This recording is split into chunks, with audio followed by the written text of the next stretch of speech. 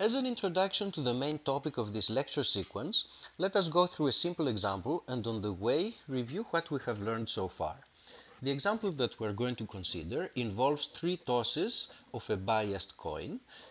It's a coin that results in heads with probability p.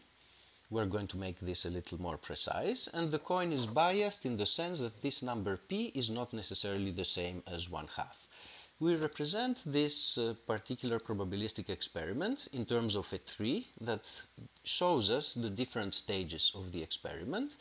Each particular branch corresponds to a sequence of possible results in the different stages, and the leaves of this tree correspond to the possible outcomes. The branches of this tree are annotated by certain numbers, and these numbers are to be interpreted appropriately as probabilities or conditional probabilities. So, for example, this number here is interpreted as the probability of heads in the first toss, an event that we denote as h1.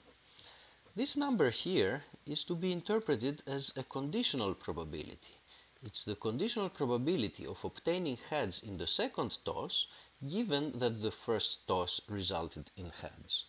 And finally, this number here is to be interpreted as the conditional probability of heads in the third toss given that the first toss resulted in heads and the second toss also resulted in heads. Let us now continue with some calculations. First, we're going to practice the multiplication rule, which, is, which allows us to calculate the probability of a certain outcome. In this case, the outcome of interest is tails, followed by heads, followed by tails. So we're talking about this particular outcome here. According to the multiplication rule, to find the probability of a particular final outcome, we multiply probabilities and conditional probabilities along the path that leads to this particular outcome. So in this case, it's 1 minus p times p times 1 minus p. Let us now calculate the probability of a certain event. The event of interest is the event that we obtain exactly one head in the three tosses. This is an event that can happen in multiple ways. Here's one possibility where we have a single head. Here's another possibility and here's a third one. These are the three possible ways that we have can have exactly one head, depending on where exactly that single head appears. Is it in the first toss, in the second, or in the third? To find the total probability of this event, we need to add the probability of the different outcomes that correspond to this event. The probability of this outcome is p times 1 minus p squared. The probability of this outcome is what we calculated. It's again p times 1 minus p squared. And the probability of the third one is also p times 1 minus p squared. So the answer is 3p times 1 minus p squared. Notice that each one of the three different ways that this event can happen have the same probability, so these three outcomes are equally likely.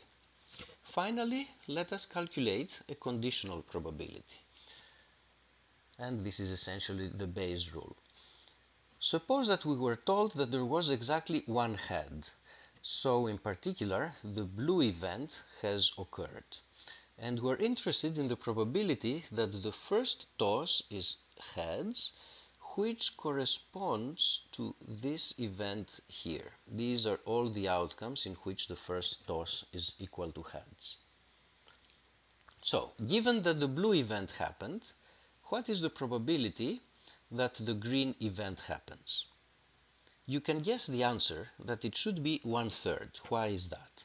Each one of these blue outcomes has the same probability. So when you condition on the blue outcome having happened, the conditional probability of each one of these should be one third. So given that the blue outcome happened, there's probability one third that this particular one has happened, and this is the only one that makes the green event happen. But let us see if we can derive this answer in a formal manner. Let's see if we're going to get one third. We use the definition of conditional probabilities. The conditional probability is the ratio, first, of the probability that both events happen, divided by the probability of the conditioning event, which is the probability of one head.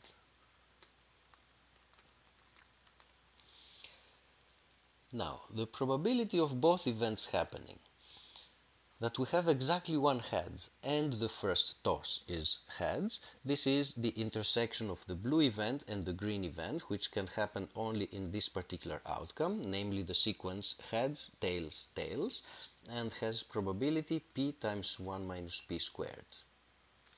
The denominator is something that we have already calculated. It's 3p times 1 minus p squared. And so the final answer is one third as we had guessed.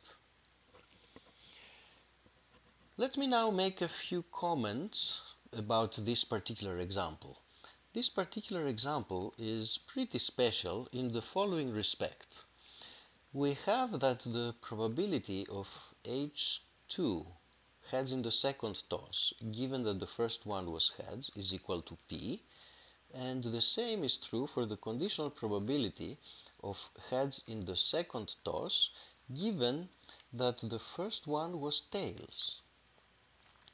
In other words, our beliefs about what may happen in the second toss remain the same, there's a probability p of obtaining heads, no matter what happens in the first toss telling you the result of the first toss doesn't change your beliefs about what may happen and with what probability in the second toss. And if you were to calculate the unconditional probability of heads in the second toss, what you would get using the total probability theorem would be the following. It's probability of heads in the first toss times probability of heads in the second given heads in the first plus the probability of tails in the first toss times the probability of heads in the second toss given tails in the first. And if you do the algebra, this turns out to be equal to p again. So the unconditional probability of heads in the second toss turns out to be the same as the conditional probabilities.